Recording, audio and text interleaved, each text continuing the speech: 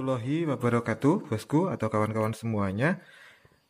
Kali ini saya akan kembali membuat video atau mereview yang namanya Android TV Box ini.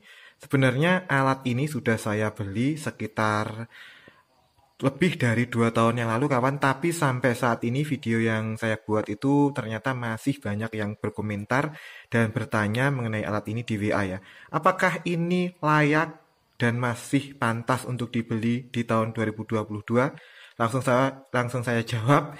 Jawabannya adalah tidak ya. Seperti ini.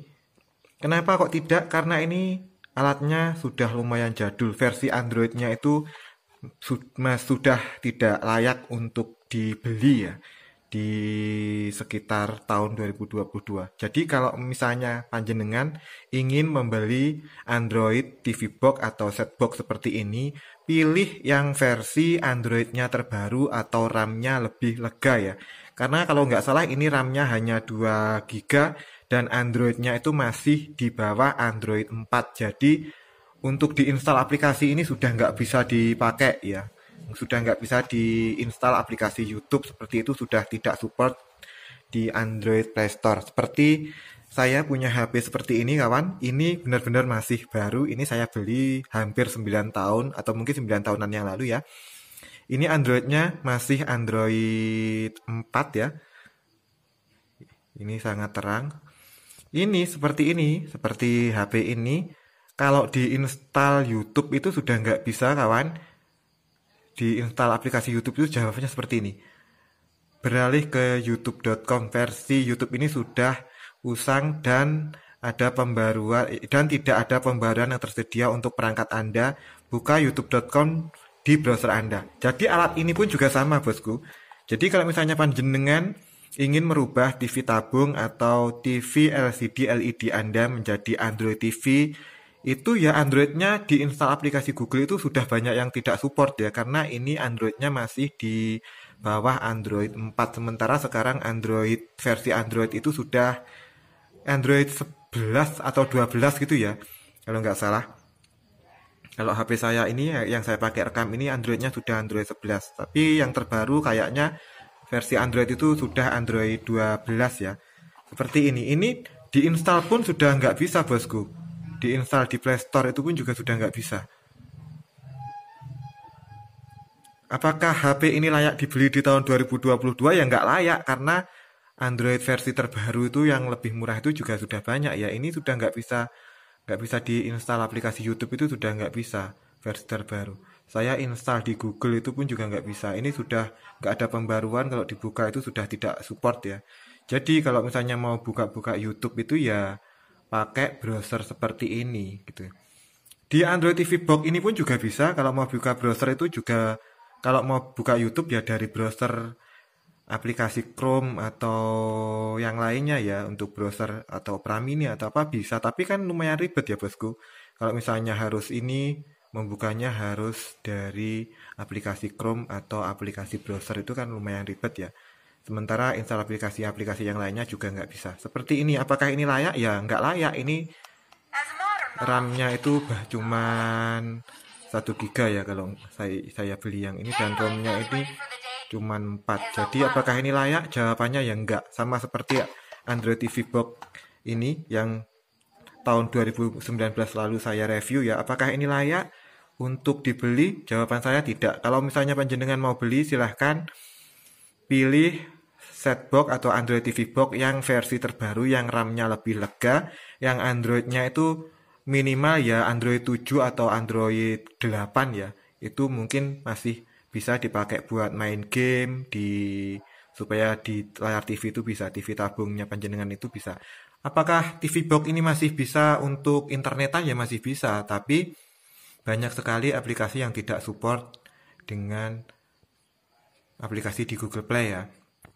Terus saya kembali mereview banyak teman-teman yang nanya apakah alat seperti ini bisa untuk TV tabung? Jawabannya bisa bosku. Ini lubang-lubangnya ini banyak ya. Ada ini HDMI kalau misalnya TV kan panjenengan itu LCD atau LED. Terus ini untuk AV-TV ini ya. Terus ini untuk lubang charger, ini untuk tombol power on off ya.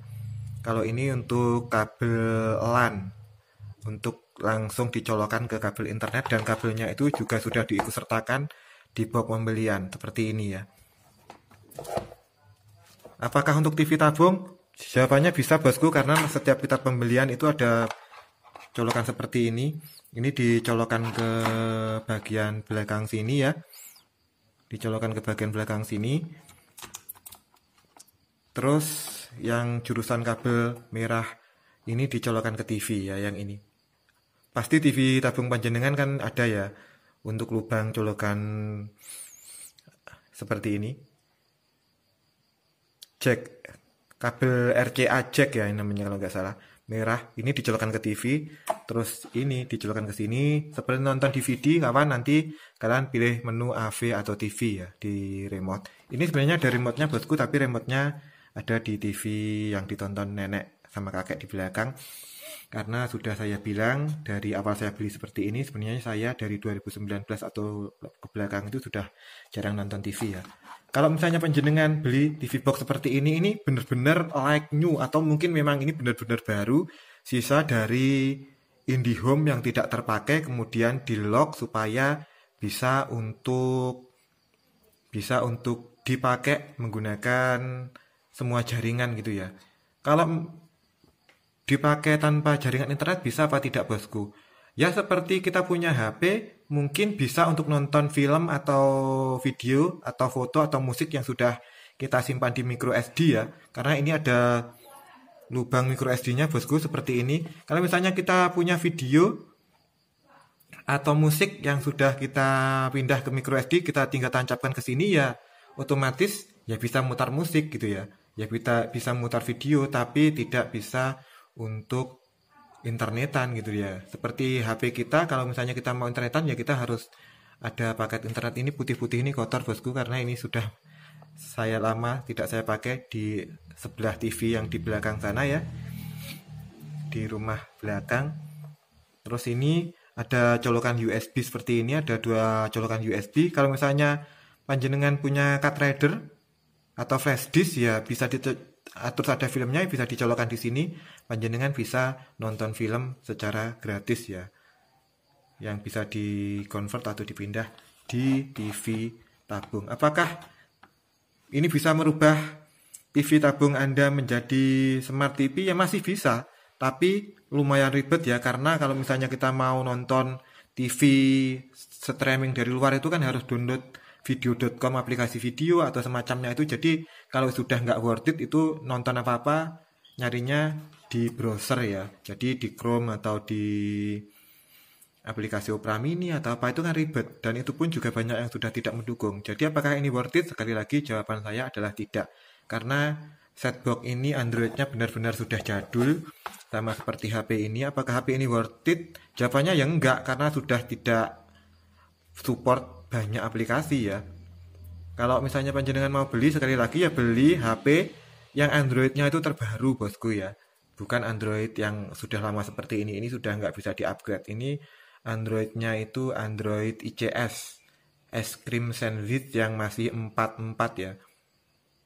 Jadi kalau mau beli ya belilah Android yang sudah yang sudah versi terbaru ini panjenengan lihat Androidnya adalah Android 44 ICS ini ya jadi kalau panjenengan mau beli setbox atau Android TV box ya pilih yang Androidnya terbaru dengan RAM yang lebih lega ya.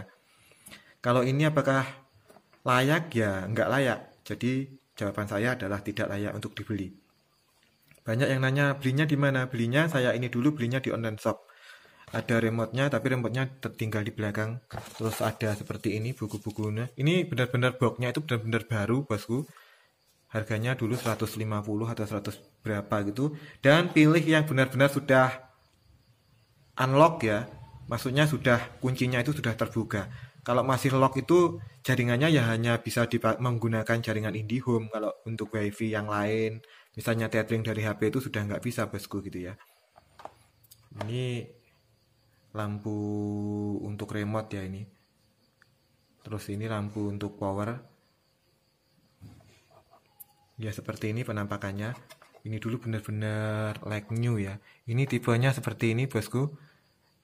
Modelnya EC Huawei STB EC6108F9 jadi kalau mau beli sekali lagi beli yang versi terbaru ya, jangan beli yang versi lama seperti ini. Karena ini sudah susah untuk install aplikasi. Dan ini pas saya buka kemarin itu sudah nggak bisa, nggak support aplikasi YouTube. Jadi kalau mau buka YouTube ya harus lewat browser Chrome atau yang Mozilla atau yang lainnya ya. Jadi cukup sekian ya kawan-kawan yang masih tertarik ingin membeli Android TV Box. Saya sarankan untuk membeli versi Android terbaru dan jangan membeli versi yang Androidnya itu di bawah Android 5.0 ya Android di bawah Android Lollipop itu sudah tidak support banyak aplikasi di Play Store gitu ya. Seperti yang saya jelaskan tadi kenapa saya menggunakan HP ini. Ini HP ini sudah jadul jadi tidak support banyak aplikasi.